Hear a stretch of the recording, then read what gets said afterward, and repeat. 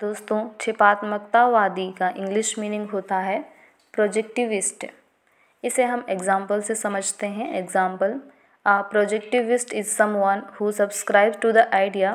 that reality is subjectively constructed shaped by individual perceptions and experiences rather than objective truths उदाहरण एक शिपात्मकतावादी वह व्यक्ति होता है, जो इस विचार से सहमत होता है कि वास्तविकता व्यक्तिपरक रूप से निर्मित होता है, जो वस्तुनिष्ठ सत्य के बजाय व्यक्तिगत धारणाओं और अनुभवों से आकार लेती है।